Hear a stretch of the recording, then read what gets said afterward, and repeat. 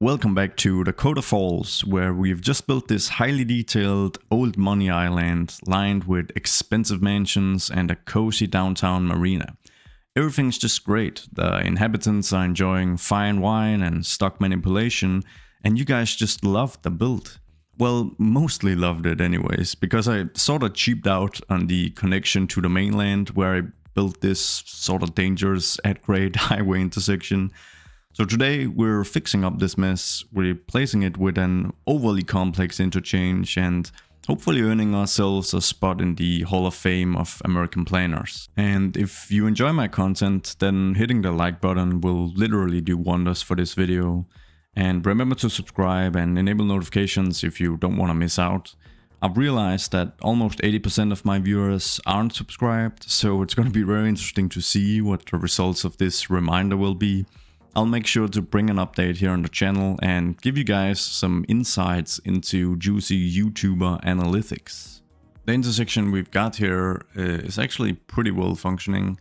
I used the traffic manager mod to configure some uh, some time traffic lights on both of the junctions uh, and they're obviously not perfectly configured um, because uh, quite a bit of queue actually gets backed up here and there isn't you know the best flow through it.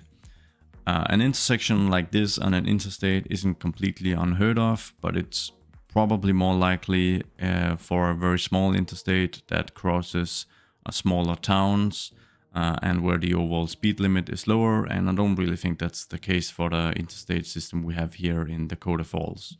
So that's why it makes sense to upgrade this from an intersection to a proper interchange and just securing a constant flow uh, throughout.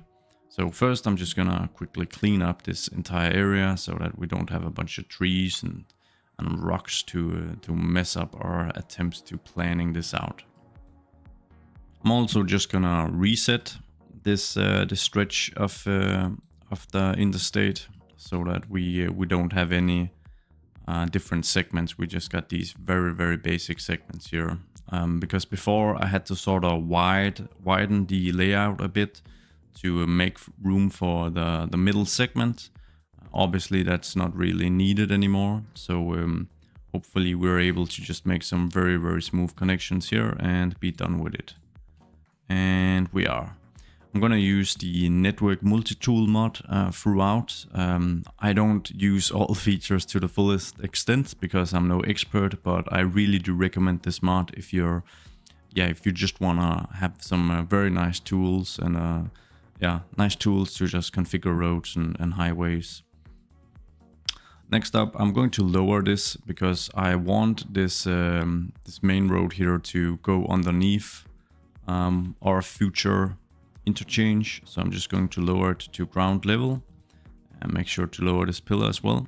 Uh, and this is already a pretty nice change. It creates like a really nice bend here or curvature.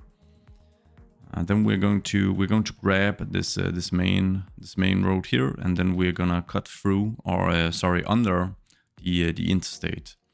And I'd like to add a bit of complexity to the interchange here so that it's just not just a completely standard one that always makes it a little more fun for me to work with. So what I'm going to do is I'm going to have this main road here uh, split into two main roads and then we'll uh, place a roundabout actually in our attempts at uh, at creating the, the complexity we want. So if we sort of split them up so that we've got an additional main road of leaves here and cuts through the county.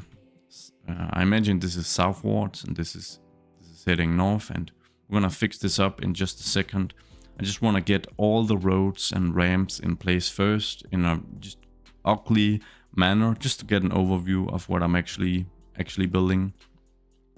I'm going to uh, grab this uh, roundabout builder mod and I'm going to click here and I'm not to do that because I forgot to configure the, the scale of the roundabout. So as you guys saw, um, because I didn't actually uh, uh, make the scale smaller, we had an absolutely massive roundabout and that's not what I wanted. So I'm to try again, but this time I'm to click minus to just adjust it. I'm gonna try starter to make it really really small and then we can uh, we can always configure if uh, if need be I'm gonna create a very very simple uh, ramp here. And I'm gonna gonna give good space not make it too tight. And like I said it's just gonna be a very very rough uh, setup here. Very rough creation as a starter. And I'll see, I'll grab this node as well, and we'll create uh, an on-ramp here to the highway over here, like so. And then we will create a direct connection here, adding complexity and confusion and just making sure that just because we're removing a dangerous intersection and converting it to an interchange, it doesn't mean that this place isn't dangerous. You know, cars are pretty dangerous and traffic, uh, complex traffic hotspots are dangerous and we want to continue that. It's more fun. And I guess it's also more realistic just overall. So we'll create an on-ramp here and we'll of course need an off-ramp here. And I don't mind a bit of it being a bit asymmetrical. I think that looks looks better even we'll just we'll just do a little more cleaning and remove some of these rocks. We are of course going to detail all this stuff up uh, when we are done configuring the highway, so don't worry. Oops. A little too uh, thorough with my cleanup here. Connecting these two. Great. Um, Let's see, does it make sense to create a direct connection here as well? Just for the heck of it, I think it does. So we'll do like this, and then the question is if we should also create this connection. And we are. So now we've certainly got a bit of complexity going, but I've got this I've got this feeling, just this this sense inside that we can make it more complex. So perhaps if we upgrade this to a two-laner and then allow for a connection, let's see if I can find uh, the node down here, connection here as well. It already looks pretty nice. It's obviously it's it's not done. That's uh, that's for sure, but I'm uh, I'm already starting to uh, to like it. I need to upgrade the road type that I've used here, uh, obviously, because this looks a little out of place. So I'm actually grabbing this uh, vanilla two-lane one-way road with grass. And then if we uh, if we switch the surface type to dirt, then it should actually just look like grass due to the theme mixing we did in the other video. Uh, and it does. And I'll go in here and we are going to remove the street lamps We can place those manually when we are a little more progressed here. Let's see if I can actually... I'm having some real issues finding the nodes here. There you go. There you go. And we'll just re-upgrade this and we will bump this up to a two-laner. Awesome. So this is our basic setup. And before I start messing with the, the roads and the you know, the curves. I'm just gonna make sure that I have the, the height I want throughout. I think this is pretty well aligned. I excuse the lag. Yeah, and then I just wanna make sure, so the roundabout is slightly elevated, which I think is fine. I just wanna make sure that all the nodes are the exact same height. So I'm gonna select all of them and then would move it and hit Control H and click this node. And it seems they're all perfectly aligned anyways, so no problem at all. I'm just gonna go through with node controller and just clicking is gonna make a change and that's because I have it automatically configured in the mod settings so that whenever I click a node it automatically slopes it. So instead of it being flat it, uh, it slopes it and that that does help a lot with well the slope obviously. I'm just gonna go ahead and click all my nodes. And this will also help highlight us where we've got uh, some issues. Um, so for instance, if the, uh, the dot here is red, it means that these two nodes are so close squeezed together that cars, that the traffic will have issues uh, going through this segment. They might like jump in and out of the like ground or, or other graphical issues. It's the same here because this uh, this segment here is uh, is too close. But yeah, just um, clicking everything with node controller just to let it kind of auto fix some of the smaller issues that we're seeing. And we've got a big node here as well, and we've got one here as well. Great. So I'm gonna hold on with the, uh, the roundabout, I think. I think the first thing I'm gonna do now is try to align uh, the ramps perfectly with, uh, with the interstate, because that's gonna give us uh, a pretty good sense of the scale we are gonna need. So let's uh, just upgrade these segments to elevated segments so that they they actually blend in because obviously most of this is elevated. We'll uh, do the same here. And I'm guessing that it's going to look a little better if we elevate this segment as well. Now I'm going to do some uh, more manual node alignment just to make things look nice. And for these nodes, I'm gonna stretch them out and then we're gonna come in with IMT, intersection marking tool, to uh, create our custom markings here. Something I also like to do uh, with these uh, type of roads is just lower the actual scale of the whole node to 90 because that creates a more sleek look. Uh, we've got some huge shoulders on this highway network and it's probably realistic but to be honest, I'd, I'd, rather sacrifice a bit of realism just for uh, aesthetics, which uh, shouldn't surprise any of you guys by now. So I'm just gonna come through and lower the, the, the size to 90 throughout. And before I start configuring each of the nodes and making the intersection on and off ramps look pretty in a little time lapse, I'm gonna try my best to adhere to lane mathematics this time around and actually upgrade these to some uh, some free lane segments so that there's uh, a good time for a, a, merge segment merge segment ugh, uh, and uh, the same for the the off ramps so we're upgrading to free lane segments here just to ensure that uh, there's plenty of plenty of room for merging I use node controller, I can hold down shift. I can click this corner and I can click this one and it's going to align. So that's a nice little tip.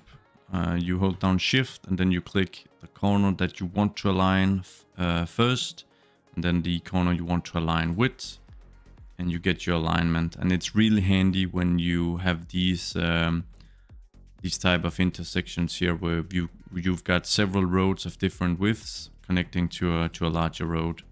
So in this case, uh, we can choose to actually bring this one up, for instance, like so. Uh, or you can do it the other way, alternatively, that's uh, kind of up to you. It just means that the alignment is uh, so much better and then you can, of course, come in with node controller and select a node and adjust it uh, a little nicer. Um, but uh, now we're just gonna we're gonna jump into getting this uh, intersection part, the on and off frames looking real nice.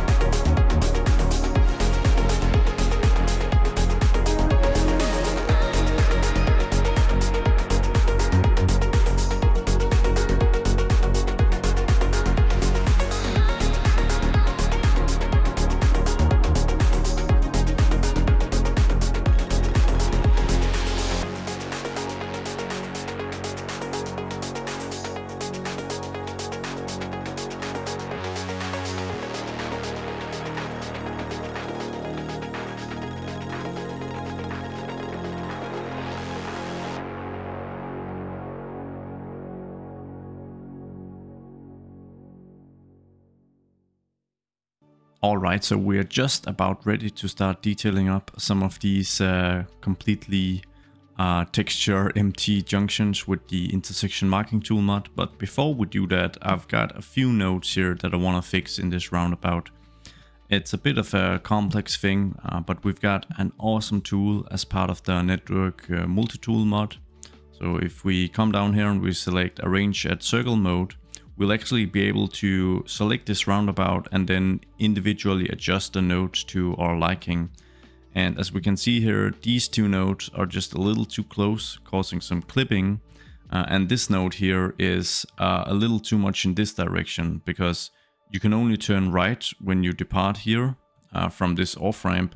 So preferably we move it a little right here so that it's a little, it's a little closer to this node. To achieve this, we simply select all nodes, like so. Then you click once more, and this brings you an overview of the roundabout. You can also adjust the size of it, which is very cool. Uh, but most importantly for us, it allows us to just adjust the nodes ever so slightly. So if I move this node in this direction, and also just create a bit more space now between these two nodes, and then I hit enter, then hopefully things are looking a little better. And most of the clipping here is fixed and the remaining clipping should be easy to fix with uh, some manual configuration with Node Controller. And over here, it's a very welcome change as this node got moved, uh, got a lot closer to this one. So it's it's it's much more it's much more of a smooth curve for uh, for vehicles. And also just a slight correction, I said that if this dot is red, then the node will uh, have issues or the segment will have issues for, uh, for traffic. That's not the case. It's if the actual lines here are red. So for instance, uh, this segment here is going to cause some issues while this one is actually fine. And as you guys can see, traffic is already flowing through uh, our new interchange quite well. Uh, there's of course lots of lane rules and other stuff that we'll need to fix. But the, the thing that's going to make a huge difference now is using the intersection marking tool to decorating up all these junctions here and just creating a complete package. Um, I'm going to try and create some templates for some of the lines I'll be using uh, because um, the the three elements that kind of uh, repeat themselves throughout this uh, entire interchange is this this thin yellow line, uh, this thin white line, and of course this um, this uh, dotted line here, the, the the white one. So by just choosing this one and decorating that up and adding those lines as templates, that's going to give us a much easier job uh, decorating up some of the other junctions. So if we hold down, if we click here and hold down shift, it's gonna create a solid line.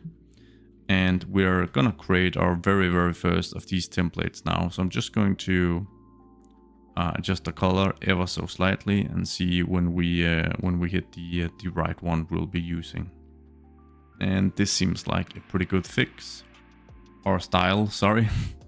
and the only thing we can configure here is the width and it seems like uh, 0.1 meters is probably the width that is actually uh, being used by this uh, this type of interstate network that I'm using here, which is nice.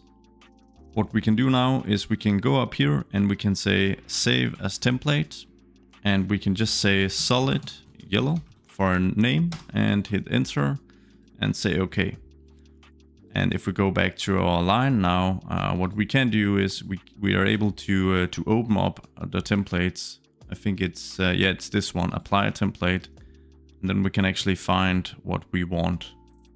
Now I've just shown you guys how to actually do this, but I've also just realized that the creator of this wonderful uh, highway pack uh, in the run has actually added these templates already.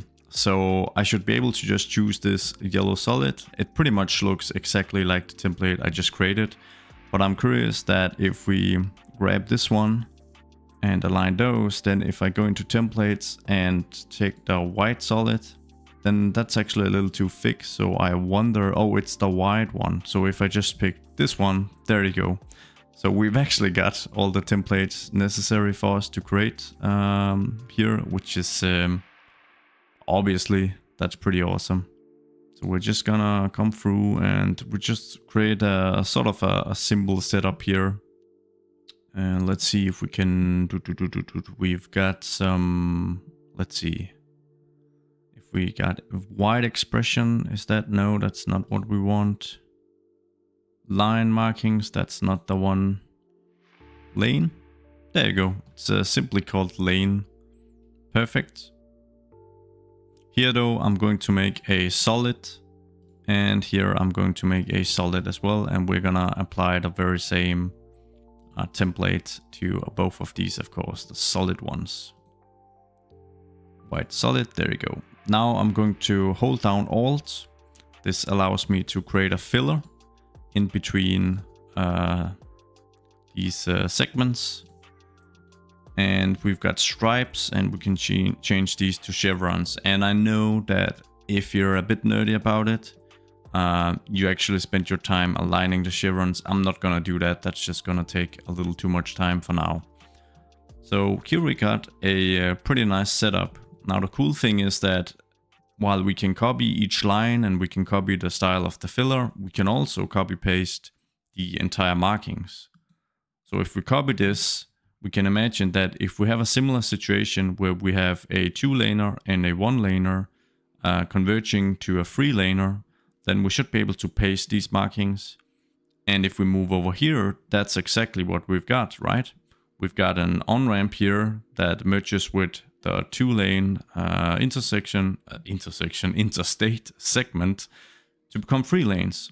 So if we click and hit paste, and we just had to turn clockwise once and hit apply and we're good to go.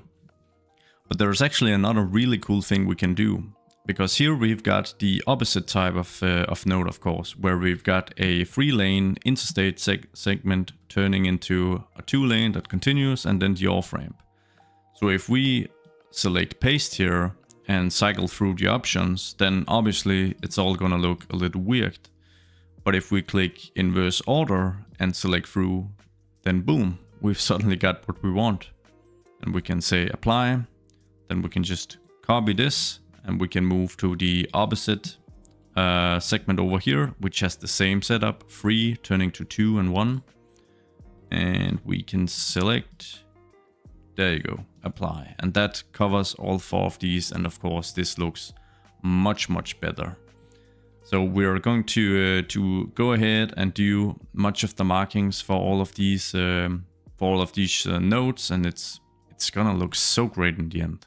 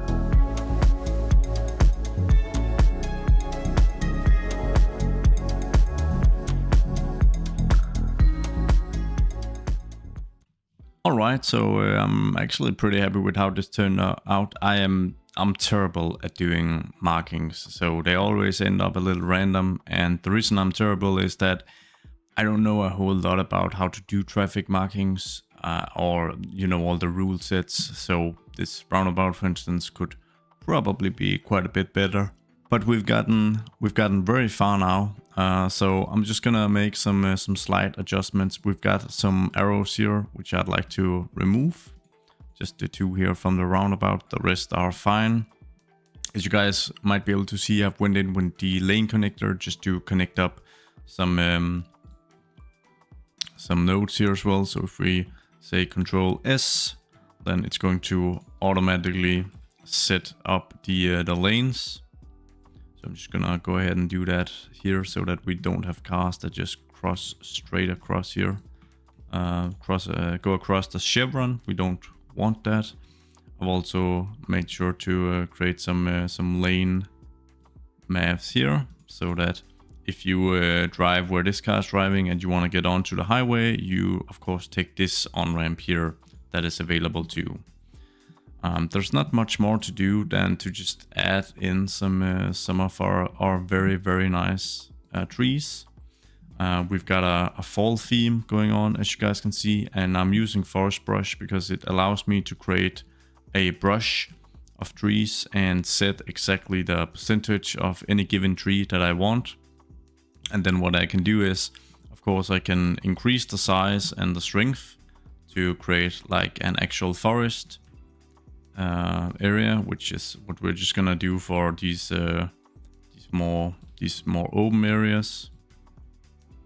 Uh, like so, that's fine. And then what I like to do is just reduce the size and the strength to one, because this allows me to set these trees individually and just create my my own uh, forest areas uh, a little more intricate this way. Also, if I don't want to place this one, I can just uh, right click and I get the next one in the uh, in the set. So um, that's a very nice feature. So I'm just gonna place some uh, some trees throughout here, throughout this area, and I'll uh, decorate up with some some rocks as well, and some of the the grass props that we that we had before the ones we've got down here.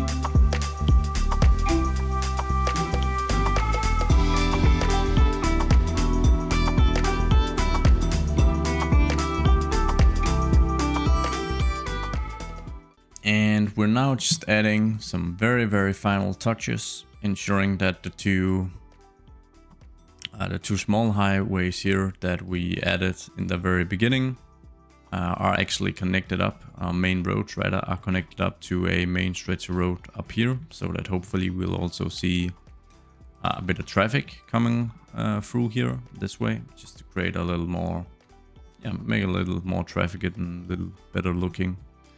It's a really nice bridge.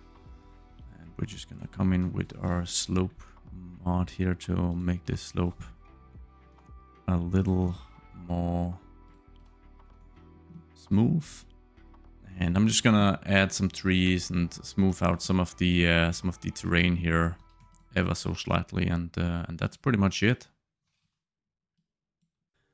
And we've now exactly got that traffic coming in from uh, from the, the main road running all the way out here on the other part of the county near the, the massive mountain range. So that's perfect. Looks fantastic to get it done. Thank you so much if you stuck with me for, for this uh, long. Uh, it's been a very cozy build for me to create. It's uh, very late at night here uh, right now. So uh, lots of fun for me. Really chill, nice build. If you got suggestions, feedback, whatever it may be, let me know in the comments. I'll do my best to reach, uh, uh read, read as many of them as uh, as possible. Uh, but that's uh, that's a wrap, folks. Thank you so much for watching. Have a nice evening or, or morning or whenever whenever you're watching this. And I'll see you all in the next one. Bye.